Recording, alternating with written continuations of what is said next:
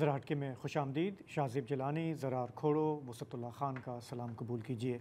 ज़रा हटके का आज बड़ा मौजू होगा सखर बैराज में, जो हालिया नुकसान हुआ है, वो सिंध का पाशी का निज़ाम इल्ज़ाम हुकूमत पर। हमारे साथ प्रोग्राम में साथ होंगे सूबाई वज़ी आबपाशी जाम खान शोरो साहब। लेकिन प्रोग्राम का आगाज़ एक अफसोसनाक खबर से, जो चंद घंटे पहले बाजौड़ से आई, आज वहाँ के सबक सेनेटर हिदायतुल्ला समेत पाँच जानें निकल ली। पुलिस के मुताबिक वो बाजौड़ में डमाडोला के मुकाम पे थे जब एक रिमोट कंट्रोल बॉम्ब के ज़रिए उनकी गाड़ी को निशाना बनाकर उड़ाया गया। जो फुटेज चल रही है सोशल मीडिया पे, उसमें देखा जा सकता है कि ये कितना ताकतवर बॉम्ब था कि उनकी गाड़ी के कम अज़ कम दो बड़े हिस्से बहुत दूर दूर पड़े हुए दिखाई दे रहे हैं। वहाँ पर पुलिस ने कहा कि सेनेटर साहब जो हैं वो अपने भतीजे और सूबाई असम्बली के हल्का के पी ट्वेंटी टू के उम्मीदवार नजीबुल्ला की इलेक्शन कैंपेन के लिए डोला गए थे और वहाँ से इंतबी मुहिम के बाद खार वापस पहुँचे जब उनकी गाड़ी को निशाना बनाया गया। हिदायतुल्ला साहब जो हैं वो दो दफ़ा सेनेट ऑफ़ पाकिस्तान के मेंबर रहे उनका ताल्लुक सियासी ख़ानदान से था। उनके वालिद एम एन ए रहे, उनके भाई सूबे के गवर्नर रहे और उनका ये जो आखिरी टेन्योर था, ये इस साल इलेक्शन से पहले ख़त्म हुआ और हमारे प्रोग्राम दूसरा रुख में नादर गुरमानी हमारे को एंकर हैं। उनके साथ इंटरव्यू में वो बार बार इस इलाके में दहशत गर्दी के के ख़िलाफ़ आवाज़ उठाते रहे। उनका, उनके इंटरव्यू की एक झलक देख ली। मसला ये है कि रोज़ाना हम हमारे वहाँ पे बम ब्लास्ट हो रहे हैं वो हम्म। किसी को नज़र नहीं आ रहे परसों नौ पुलिस वाले शहीद छब्बीस जख्मी हाँ। आज बम ब्लास्ट हुए चार क्रिटिकली इंजर्ड रोज़ाना के हिसाब से हो रहा है हम्म। हमने वहाँ पे ग्राउंड रियलिटी को देख के मैंने ये अपना रेजोल्यूशन दिया हुआ है हम्म। और आज तक हज़ारों रेजोल्यूशन आते हैं मगर मुझे तो नहीं लगता कि हमारे फाटा वालों की रेजोल्यूशन पर भी कभी कोई अमल दखल होगा अच्छा। क्योंकि खून हमारा बह रहा है हम्म। हम छप्पन हज़ार लाशें दे चुके हैं हम्म। छप्पन हज़ार हम्म। सिर्फ़ फाटा वालों ने ठीक है देख तो हम और लाशें उठाने के काबिल बिल्कुल नहीं तो हिदायतुल्ला साहब ये जो दहशत गर्दी के मामला हैं इस खत्े में उसके ख़िलाफ़ एक बड़ी मौसर आवाज़ थे। वो नेक्टा के भी रुकन रहे। नेक्टा यानी कि जो एंटी टेररिज्म बॉडी एक हमने बनाई थी किसी ज़माने में दहशत गर्दी से लड़ने के लिए। सिक्योरिटी के तर्ज पे। जी होमलैंड सिक्योरिटी के तर्ज पे। लेकिन वो अपनी आवाज़ उठाते रहे और आखिरकार ख़ुद भी इसका निशाना हो गए। कई बार इन्होंने वार्निंग दी थी सेनेटर हिदायतुल्ला साहब मरहूम ने कि मामला आप से बाहर निकल गए हैं। ख़ास तौर पर सबक फ़ाटा में। आ, और आज ही मेरी बात हो रही थी कुछ एक और सबक सिक्योरिटी ऑफिशल काफ़ी पुलिस में भी रहे हैं काउंटर टेररिज्म में भी रहे हैं। और ज़ाहिर है कि जब आप इस तरह के अहदों पर होते हैं तो आपकी एक नेटवर्क बनती है बाकी जो सर्विंग ऑफिसर्स भी हैं। तो वो जो मुझे बता रहे थे ना आज बहुत ही खौफनाक है। कह थे कि देखें बलूचिस्तान के बहुत ज़्यादा हिस्से हैं जो बिल्कुल ही आप समझें कि आप वहाँ पर दीवार के साथ लगे हुए हैं। They are on the brink writ नहीं है। रिट रिट के नाम की कोई चीज़ भी नहीं है। और जहाँ तक के पी और बिलखसूस सबक जो कबायली इलाके हैं वहाँ की वो बातें कर रहे थे कि यार बेसिकली अंडर सीज सिचुएशन है कि उनकी किसी एक पुलिस अफसर से बात हो रही थी कहते हैं कि यार मेरी नफरी के पास मतलब सही है हमारे पास कोई पचास सौ सब मशीन गन्स होंगी। और कुछ दो तीन एल होंगी। वो जब हमला करते हैं उनके पास हज़ारों की तादाद में होती हैं। एंड नाइट विजन स्कोप्स जदीद असला तो you are outgunned outmanned and I think outplanned also जो सबसे जो खौफनाक uh, बात है क्योंकि हमारी जो सारी एनर्जीज हैं काउंटर इंटेलिजेंस वाली और वो पता नहीं कहाँ लगी हुई हैं।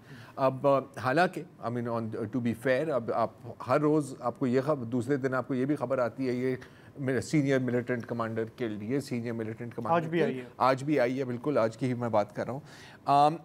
इरफानुल्ला उर्फ़ अदनान की बात कर रहे हैं। लेकिन आम, क्योंकि हमारा ज़ाहिर है कि मीडिया का फोकस होता है कि जी पीटीआई में धड़े बन रहे हैं या नहीं क्या इस्टेब्लिशमेंट और इमरान खान के बीच में बात होगी? तो ये सारी चीज़ें मिस हो जाती हैं। एक तकरीबन रोज़ाना रोज़ाना या तो लॉ इन्फोर्समेंट ऑफिशल शहीद हो रहे हैं या तो फिर आपके फौजी जवान शहीद हो रहे हैं even in successful operation so आज का ये एक बड़ा सानिया है एक ऐसे खत्ते के लिए। भी याद आया? लंबा डोला।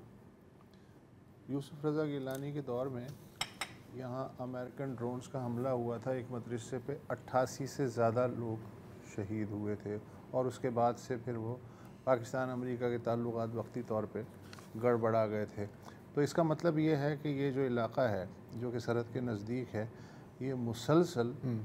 कम अज़ कम दो दहाइयों से शिद्दत पसंदी का गढ़ है सो so, आज काफ़ी बहुत सारे सियासतदानों ने मुख्तलिफ़ पार्टियों ने सख्त इसकी मजम्मत की है क्योंकि अपेरेंटली हिदायतुल्लाह साहब की बहुत ही एक अच्छी रेपूटेशन थी अपने कोलीग्स के साथ और उनका जो ये आज का जो सानिया है उसमें बहुत सारे लोग आज इजहार ताज़ियत कर रहे हैं हमारा जो आज का बड़ा मौजू है असल मौजू जिस जिस पे हम आज फोकस करना चाह रहे थे, वो सिंध का जो महकमा आबपाशी है, उसकी कारकर्दगी है।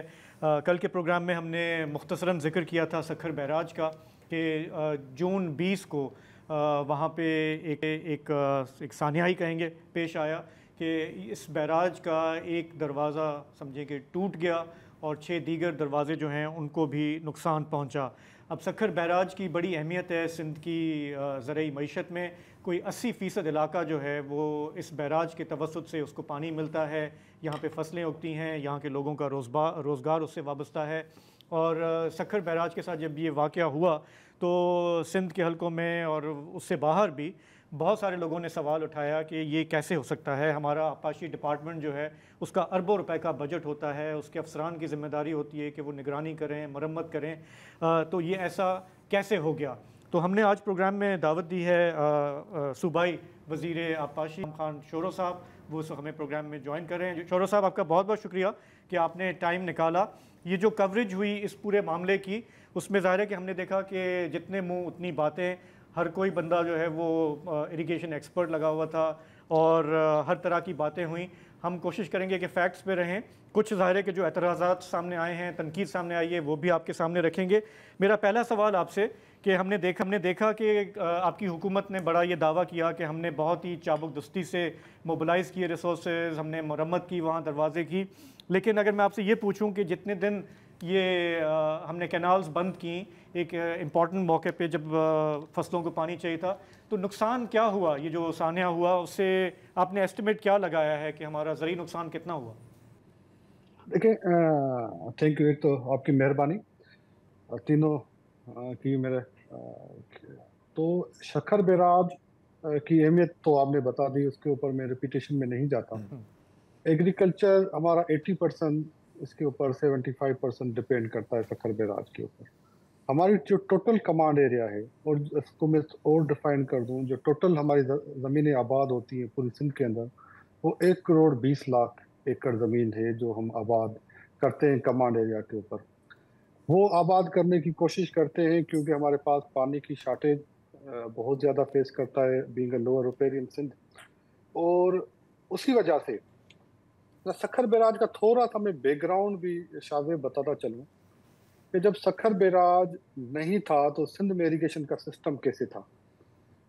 हमारे पास इनंडेशन केनाल थे। मैं आपके सवाल जो आपने किया मेरी थो, मेरी थोड़ी सी गुजारिश होगी क्योंकि आज हमारे पास टाइम कम है आपके साथ बातें बहुत करनी है। ओके। पहले अगर हम इस पे आ जाएँ कि नुकसान कितना हुआ आपका एस्टिमेट क्या है? मैं नहीं एग्रीकल्चर डिपार्टमेंट जो हमारा है मैं वही कह रहा हूँ कि पचहत्तर लाख एकड़ ज़मीन हमारी सखर बैराज पे है। राइट बैंक के केनाल्स मेनली हमारे जो राइस केनाल है उसके ऊपर राइस की कल्टीवेशन होती है उसका हमारे पास टाइम था। नारा केनाल हमारा इनंडेशन केनाल था जो मैं इनंडेशन केनाल की बात करता हूँ। हम्म। किसी हद तक उसमें पानी जा रहा था। अब मैं इसको अगर डिफाइन करूँगा शायद मुझे थोड़ी थोड़ा टाइम दीजिएगा तो मैं थोड़ा डिफाइन कर सकूँ इसको। तो उसमें उसमें यह था कि जब 20 जून को सखर बैराज का ये इंसिडेंट हुआ तो तकरीबन हमें कोई आठ नौ बजे के करीब ये रिपोर्ट हुआ। बींग मिनिस्टर मुझे दस बजे तो हम मैं निकल पड़ा था सखर बैराज के लिए कराची से क्योंकि हमारा बजट सेशन चल रहा था। जी। तो चार बजे के करीब हम सखर बैराज भी पहुँचे। तो पहली एसओपी जो रास्ते में ही सेक्रेटरी इरीगेशन और एक्सपर्ट्स ने ये बनाई कि बैराज को हम डाउन स्ट्रीम में पानी खाली करें। और खाली करने से नुकसान हमारा ये होगा क्योंकि एक गेट जो था 47 उसको डैमेज हुआ था 44 को। तो उससे पानी सारा सखर क्योंकि हमारा पान लेवल मेंटेन करने के लिए हमारे गेट नीचे थे। ठीक है? उसकी वजह से केनाल्स में पानी जाता है। जब हमने गेट ऊपर कर दिए पानी डाउन स्ट्रीम गया तो जो प्रेशर था दो गेट्स के ऊपर वो कम किया जिसकी मेन वजह ये थी कि बैराज के स्ट्रक्चर को कोई नुकसान न पहुँचे। जिसकी वजह से केनाल्स में पानी जाना कम हुआ। खत्म नहीं हुआ कम हो गया। जैसे नारा इंडेशन केनाल था उसमें पानी जा रहा था as compared to रोडी man made canal था जिसमें पानी कम जा रहा था। तो हमारी पहली प्रायोरिटी ये थी कि उनमें पानी। अब आपका सवाल एस्टिमेशन कितनी है कि हमारी कितनी ज़मीन के लिए कितने दिनों?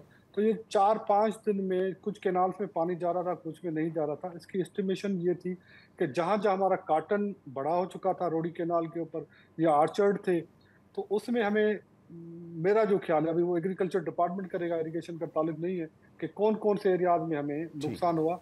लेकिन हमारी कोशिश ये थी कि चार पाँच दिन के अंदर पहले तो देखें सब जो हाइड्रोलॉजी के इंजीनियर्स थे बैराज के एक्सपर्ट्स थे उन्होंने कहा कि जून के महीने के अंदर कभी ये इंसिडेंट नहीं हुआ कि बैराज का गेट के ऊपर आप काम कर सकें। उसके लिए आपको दिसंबर का महीना चाहिए और उसमें आप पानी बिल्कुल बैराज का खाली करें क्योंकि दिसंबर के अंदर क्लोजर होते हैं जिसमें मेंट जिसमें हम मेंटेनेंस का काम करते हैं। हम्म। तो एक बहुत बड़ा टास्क था कि भाई दिसंबर से पहले जून में जब एक सवा लाख क्यूसिक पानी हो आपके पास तो आप उसमें काफर डैम लगाएँ केसियन गेट लेके आए वो केसियन गेट से उसको सील करें और काम करें।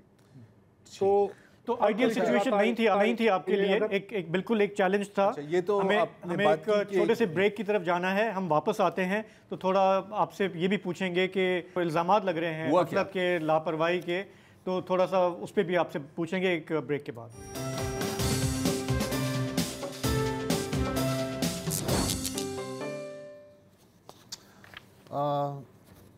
जाम खान शोरो साहब जो सिंध के वज़ी आबपाशी हैं, उनसे सखर गेट पे बात हो रही है।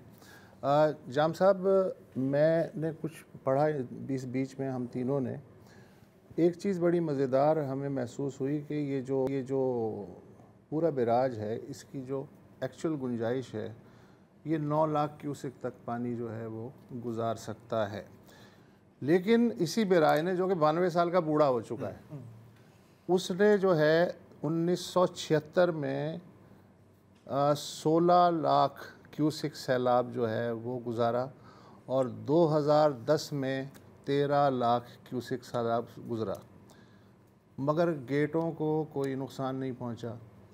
इस वक्त 20 जून को पानी जो था, बताया जाता है कि एक लाख क्यूसिक के लगभग कोई बहाव था और उसमें अचानक एक गेट जो है वो टूट के गिर पड़ता है।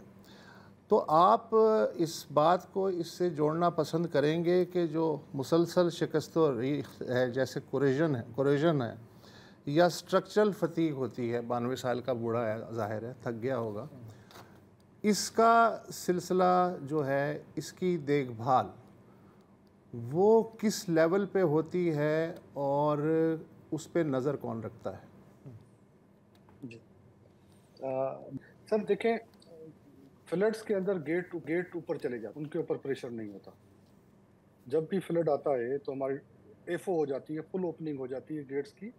गेट्स के ऊपर प्रेशर तब होता है जब हम उनको नीचे करते हैं और नीचे करने के बाद हम उनके ऊपर पान लेवल मेंटेन करते हैं फिर प्रेशर आता है गेट्स का। पहले सवाल का जवाब ये कि जब सैलाब ज़्यादा पानी आ जाता है तो गेट ऊपर कर देते हैं पानी डाउन स्ट्रीम चल जाता है और रन ऑफ़ रिवर पे हमारे केनाल चल रहे हैं। सर देखिए जब 1925 में ये कैनाल बना था उस वक्त इसके गेट थे 66 32 के अंदर जब इसको ऑपरेशनल किया गया तो एक खराबी आ गई ब्रिटिश दौर के अंदर कि इसके जो 10 कैनाल थे राइट बैंक 10 गेट थे राइट बैंक कैनाल्स के लिए तो गेट थे। उनमें पानी नहीं जा रहा था। तो ब्रिटिशर्स ने एक स्टडी करवाई पुणे की लेबॉर्ट्री में। उस वक्त यूनाइटेड इंडिया के अंदर पुणे के अंदर लेबॉर्ट्रीज थी। लेबोरेटरी में क्या करते थे? छोटा सा मॉडल जहाँ जहाँ जहाँ इरिगेशन वर्क में जी कोई खराबी आ 1938 में ये गेट मुस्तकिल मुस्तकिल बंद कर दिए गए थे दस गेट उसके बाद से अब तक छप्पन गेटों हाँ, से गुजारा कर रहा है ये बंद। हाँ उसमें आपको उसमें क्या हुआ कि जो राइट बैंक कैनाल्स के अंदर रिवर ट्रेनिंग वर्क किया गया दरिया के अंदर इंडस रिवर के अंदर और कहा गया कि राइट बैंक के कैनाल्स में आपकी सिल्ट जाती है। इंडस दरिया दुनिया के उन दरियाओं में से है जिसमें सिल्ट बहुत ज़्यादा आती है। तो उसमें सिल्ट जा रही है इसके लिए रिवर ट्रेनिंग वर्क किया गया दरिया के अंदर और 42 के अंदर वो river training sir historical background के बेसिक चीज़ें जो हैं वो मौजूद हैं। आप ये बताइए कि हर चीज़ हर हर चीज़ की हर चीज़ की इंसान से लेके स्ट्रक्चर तक एक एक्सपायरी डेट होती है। क्या इसकी एक्सपायरी डेट मौजूद है या अभी थोड़ी देर और ये रह सकता है? मैं वसंदा खान अब क्या हुआ? अब मैं उसमें जो पानी राइट बैंक के कैनाल्स में नहीं जाता तो हमें पान लेवल मेंटेन करना पड़ता है। अब आ जाए कि 25 के जो गेट लगे थे 10 बंद हो गए। बाकी गेटों में पहली दफ़ा खराबी आई 30 एटी टू के अंदर। 31 गेट हमारा कोलेप्स कर गया। जी। उस गेट उस गेट को वो किलो कोलेप्स किया किया था दिसंबर के अंदर। जी। उसके बाद एक स्टडी करवाई गई। उन्होंने कहा कि ये जो तीस वाले गेट लगे हुए हैं बत्तीस वाले ये खत्म हो चुके हैं इनको आप रिप्लेस करें। वो 87 से लेकर 92 तक वो प्रोजेक्ट चला जिसके अंदर उन गेट्स को रिप्लेस किया गया। और उस वक्त 82 के अंदर गेट्स को काफर डैम लगाना इस वजह से आसान था कि वो दिसंबर का महीना था।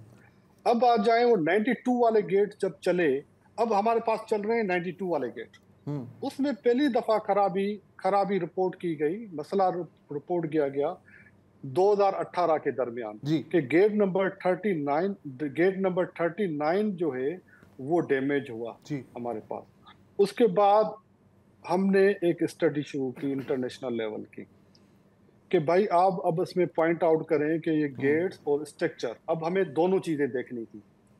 92 के अंदर ये नहीं देखा गया था कि स्ट्रक्चर उस वक्त सिर्फ़ गेट रिप्लेस किए गए थे।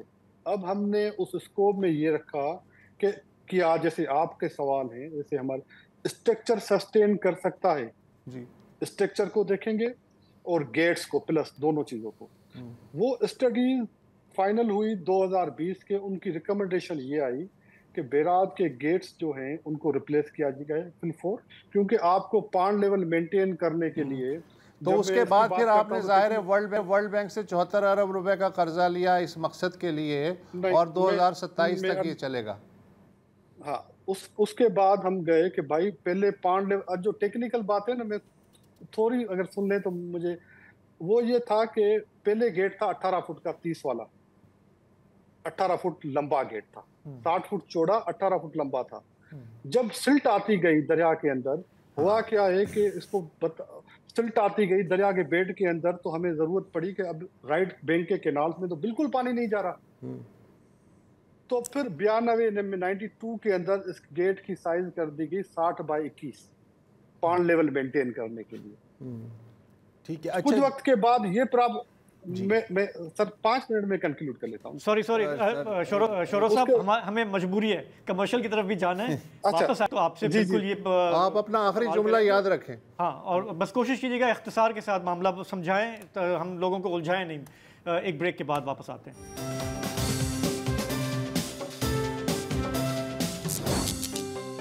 वेलकम बैक जी शोरो साहब, आपने अभी ब्रेक से पहले कहा था कि एक मसला ये था कि पॉन्डिंग लेवल को बढ़ाना पड़ा ख़तरनाक हद तक और उसकी वजह ज़ाहिर है ये है कि सिल्टिंग बहुत हो गई थी बिलखसूस राइट बैंक पर, जिसकी वजह से अगर पॉन्डिंग लेवल लेवल को बढ़ाया ना जाता तो राइट कनाल्स में पानी ना जाता या कम अज़ कम कम पानी जाता। अब, ये बात कई बार की गई है, दहाइयों से ये बात हो रही है कि सिल्टिंग बहुत होती है। लेकिन, महकमा आप पाशी के जो सिविल इंजीनियर्स हैं, उनका एक बुनियादी काम ये है कि डी सिल्टिंग करें और करते रहें। और ज़ाहिर है कि ये फ्री में काम नहीं हो रहा, अरबों का बजट होता है इसका। और अगर कोई कॉम्पिटेंट सिविल इंजीनियर वहाँ पर होता तो ये सिचुएशन ही ना डेवलप होती कि वहाँ पर पूरे पहाड़ और पूरे जजीरे बन जाएँ सिल्टिंग के, जिसकी वजह से फिर पॉन्डिंग लेवल को बढ़ाया जाए। क्योंकि पॉन्डिंग लेवल को बढ़ाने की ज़रूरत नहीं हो, होती और ये हमने पूरी दरियाई सिंध की तारीख में हमने देखा है। साठ की दहाई से सिल्टिंग की प्रॉब्लम ज़्यादा बढ़ी है।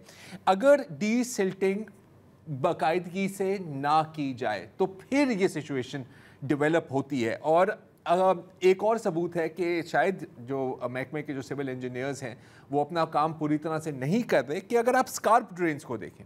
स्कार्प ड्रेन्स पर एक तो वहाँ पर वेजिटेशन ग्रो हो रही है, वहाँ पर इंक्रोचमेंट्स भी हुई हुई हैं, और एक बुनियादी काम होता है कि इन सारी चीज़ों को रोका जाए। तो क्या महकमा आप पाशी ने डी सिल्टिंग पूरी तरह से नहीं की? इन पर कोई चेक है, कोई बैलेंस है? अब आप सुनिएगा मुझे पाँच मिनट के लिए। देखें जो आपने एक बड़ी बात की बहुत कम लोगों को पता है सिक्सटी के बाद हम क्यों कहते हैं? जब इंडस बेसन ट्रीटी हुआ और हमारे जो तीन टर्बिट्रीज थी वो चली गई तो पानी का क्वांटम कम हुआ आपके पास। सेडिमेंटेशन का इशू रिजॉल्व तब होता है आपके पास मट्टी तब निकलती है बेराजिस से मैकेनिकल तरीके से आप नहीं निकाल सकते बेराजिस की बात कैनाल्स की बात नहीं कर रहा कैनाल्स में भी बड़ा प्रॉब्लम होता है। हमारे सारे बेराजेज उसके बाद क्वांटम पानी ना आने की वजह से हमें दो नुकसान हुए। सारे बेराजेज फिल्ट हो गए बेड लेवल पूरा। उसके बाद ये सेडमेंट जब समंदर तक नहीं पहुँचती तो इन्वायरमेंटल इश्यूज़ हुए। हमारी 20-22 लाख एकड़ ज़मीन समंदर बुर्द हो गई। वजह ये थी कि हमने उस वक्त, शायद इन्वायरमेंटल एजेंसीज नहीं थी लोअर राइपेरियन के बगैर ये इंडस बेसन ट्रीटी हुआ, कुछ सोचे बगैर हुआ तो उसकी वजह से दरिया का बेड मिट्टी से भर जाता है। दरिया का बेड हम्म। आप डीसिल्टिंग के थ्रू नहीं निकाल सकते। दरिया का बेड की सेडमिटेशन तब निकलती है जब क्वांटम पानी उतना चाहिए जो उसको लेके समंदर तक लेके जाए। एक बात। वसतला खान साहब वसतला खान साहब का एक सवाल था बड़ा अच्छा था कि भाई चौहत्तर बिलियन चौहत्तर बिलियन रुपीस का ये नहीं है सखर बैराज के ऊपर। सत्रह बिलियन के अंदर हमें सखर बैराज के छप्पन गेट चेंज करने हैं। उसका सिविल वर्क चेक करना है। पहली दफ़ा पाकिस्तान पीस पार्टी की हुकूमत हमारी गवर्नमेंट ने ये रियलाइज़ किया कि सिविल वर्क भी हमें देखना है। सौ साल हो चुके हैं इस बैराज को।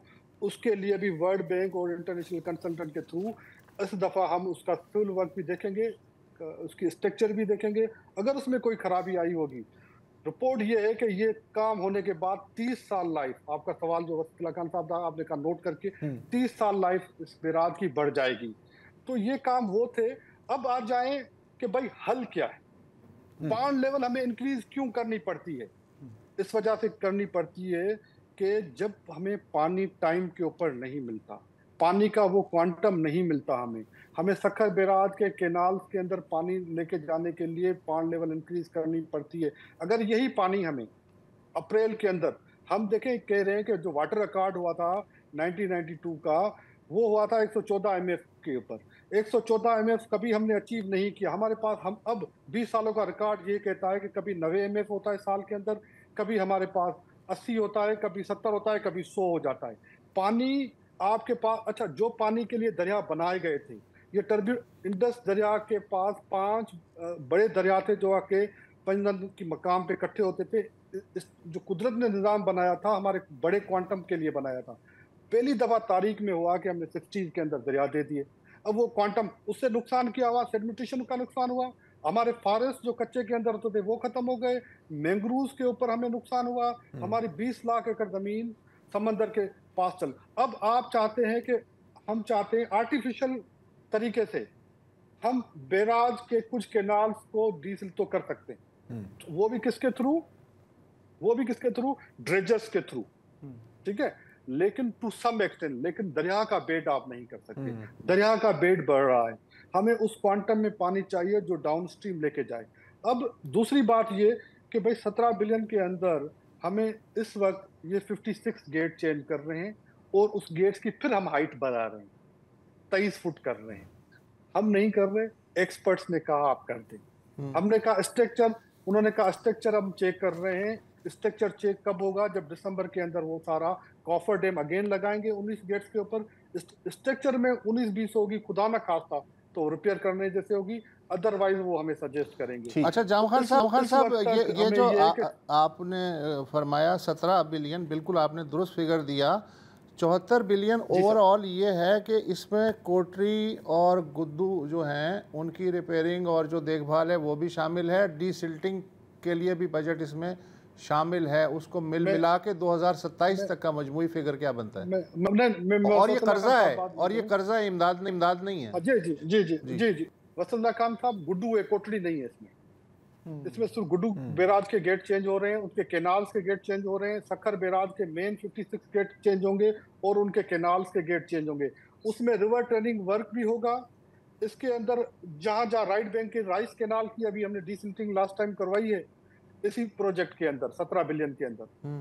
ठीक है? तो एक तो लोगों को वसफिल्ला खान साहब जैसे शादेब जिलानी साहब ने शुरू में कहा पता नहीं लोग सब एक्सपर्ट बन गए या कहने लगे कि भाई इतना ग्रीस खर्च हो गया इतने सखर बेराज पे पैसे चौहत्तर बिलियन रुपीस गेटों के ऊपर लगा दिए गए। अभी तक सिर्फ़ चार अरब रुपए खर्च हुए हैं जिसमें वो चाइनीज़ जो फर्म है वो काम कर रही है।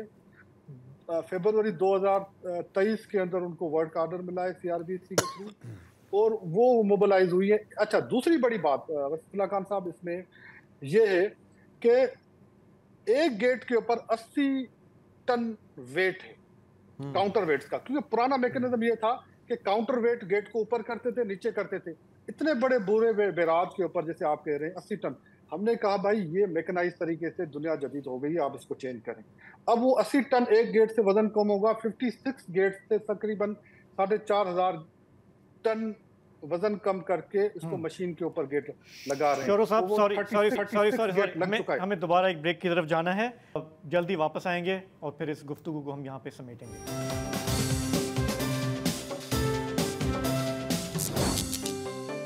जाम खान, शोरो साहब हमारे साथ हैं। शोरो साहब ब्रेक से पहले आपने काफ़ी तफसीला एक्सप्लेन किया जो चैलेंजेस आपको दरपेश हैं। इंडस वाटर ट्रीटी की आपने बात की वाटर अकॉर्ड की भी बात की। लेकिन जो ज़रार का सवाल था वो ये कि महकमा आबपाशी की अपनी कारकर्दगी उस पर आप क्या कहेंगे? क्योंकि बहुत सारे सवाल उठते हैं। नसीर मेमन साहब हमारे एक हमारे एक डेवलपमेंट हैं। उन्होंने डॉन में पिछले हफ़्ते एक कॉलम लिखा इसी पे, गेट नंबर 47 पे। उन्होंने कहा कि महापा, आपाशी जो है, उसकी रेपुटेशन है रैम्पेंट करप्शन के लिए इनएफिशिएंसी के लिए इनकॉम्पिटेंस यानी ना अहली के लिए बैड गवर्नेंस के लिए सब स्टैंडर्ड ओवरसाइट के लिए। अब मैं मज़ीद आगे नहीं जाना चाह रहा। मुझे आप ये बताएँ कि आपके अपने डिपार्टमेंट में आपने अब तक क्या देखा है कि गफलत कहाँ हुई, लापरवाही कहाँ हुई? देखें बात ये है कि पहले ये हम देखें कि क्या जो गेट्स डैमेज हुए इसके ऊपर ऑलरेडी एक हमारे पास रिपोर्ट आ चुकी थी गेट डैमेज इसी वजह से हम रिप्लेस करने गए। हमने पहले कोशिश की थी कि ये रिहेबिलिटेट हो लेकिन कंसल्टेंट्स ने इंटरनेशनल लेवल के ये रिहेबिलिटेट नहीं हो, हो सकते आप रिप्लेस करें ये गेट्स आपके डैमेज हो चुके हैं। उसके बाद ही हम इसके रिप्लेसमेंट के ऊपर गए। दूसरी, हमारे रिवर का जो फ्लो है, वो लेफ़्ट साइड पे बहुत ज़्यादा है राइट साइड पे नहीं है। गेट 41 से लेके 59 तक बहुत हमारे गेट्स के ऊपर प्रेशर होता है कि भाई जहाँ पे रिवर का फ्लो डायरेक्ट हिट कर लेफ़्ट साइड के ऊपर। राइट साइड के ऊपर पानी नहीं जा पाता जिसके लिए हमें पानी लेवल मेंटेन करना पड़ता है। लेफ़्ट साइड के केनाल्स के ऊपर सर ये आपने एक्सप्लेन कर दिया। चोरो साहब ये आपने एक्सप्लेन कर दिया। देखिए सवाल ये है कि आपके चीफ इंजीनियर आपके सेक्रेटरी जिन लोगों को मेंटेनेंस करनी है। वो अपना काम कर रहे थे या नहीं कर रहे थे? मैं मैं वही वही कह रहा हूँ कि शाहजेब वो जो गेट डैमेज हो चुके थे जिनके ऊपर रिपोर्ट आई रिप्लेस करें वो रिप्लेस हो रहे थे उसी दौरान एक गेट हमारा डैमेज हुआ है। अब आ जाए कि भाई मेंटेनेंस हो रही थी हम्म। कि नहीं हो रही थी? सवाल ये है कि भाई मेंटेनेंस अगर नहीं हो रही होती गेट्स के ऊपर मेंटेन अगर गेट नहीं हो रहे होते तो ये 2018 में ये रिपोर्ट आ गई थी कि आप गेट चेंज करें और ये डैमेज हो चुके हैं। और 20 में आके कंसल्टेंट की रिपोर्ट आ गई। तो या अब जब रिवर का फ्लो अब हमने जो कमेटी बनाई है वो उसके ऊपर बनाई है जिसकी फाइंडिंग आनी है। क्या ये गेट्स जो सेडिमेंट टूटा है जो हमारा जो पानी के ऊपर प्रेशर आता है मट्टी का सेडिमेंटेशन का वो था। या इसमें किसी की नाहली है वो आ जाएगी हमारे कमेटी की अच्छा, इंक्वायरी कौन कर रहा है? अच्छा जरा जरा कौन कौन कर रहा है? देखें तो जब पिछली दफ़ा भी गेट टूटे थे तो इंटरनेशनल जाती इंक्वायरी हो रही है। अभी अभी क्या हमने जो देखा है वही लोग इंचार्ज हैं इंक्वायरी के जिन पर तनकीद हो रही है। नहीं नहीं नहीं इस तरह नहीं है। देखिए चीफ इंजीनियर हमारे पास बेराज इम्प्रूवमेंट के जो सीनियर हैं हमारे जो लीड कर रहे हैं गुलाम मजदूर मुगल साहब। चीफ इंजीनियर हमारे पास डेवलपमेंट वन के मंसूर मेमन साहब की बड़ी अच्छी रेपुटेशन है वो हैं। राइट बैंक के मुख्तार अबड़ो साहब इसके अंदर हैं। तो इन, इनके अंदर जो हमारे वही डिटर्मिन करेंगे। मतलब हमारे पास देखें डिपार्टमेंट आजादाना इंक्वायरी नहीं होनी चाहिए। एक्सपर्ट्स को नहीं लाना चाहिए इंटरनेशनल लीज की नहीं होना चाहिए ताकि हम इससे सबक सीखें। दोबारा हम नहीं हो सकते इसके मैं मैं मैं वही कह रहा हूँ शाहजेब एक हमारे यही एक्सपर्ट्स हैं जो जिन लोगों ने चार दिन के अंदर पाकिस्तान की तारीख में पहली दफ़ा काफर डैम लगा के बैराज को रिपेयर भी किया और फंक्शनल भी किया। इनके ऊपर हमें ट्रस्ट है। अगर ये इंक्वायरी रिपोर्ट में अगर किसी का की नाहली आई अगर किसी इंजीनियर ने रिपेयर की नाहली आई तो उसके ऊपर ज़रूर मैं मैं दुआ करता हूँ कि जुलाई और अगस्त में अगर कोई अच्छा। बहुत बड़ा सैलाब आ रहा है तो खैरियत से गुजर जाए सखर बिराज। शोरो साहब आपका बहुत बहुत शुक्रिया। बातें और भी करने के लिए हैं लेकिन अनफॉर्चुनेटली हमारा टाइम खत्म हो रहा है प्रोग्राम का। जी वो अभी बात कुछ करना चाह रहे थे लेकिन मेरा ख्याल है हम ऑफलाइन कुछ गुफ्तगू कर लेंगे और फिर दोबारा भी आपको मौका देंगे क्योंकि मौजू बड़ा है टाइम हमारे पास कम था। लेकिन आपका बहुत बहुत शुक्रिया। फ़िलहाल हमें इजाज़त दीजिए कल आपसे मुलाकात होगी। खुदा हाफिज़ शब खैर।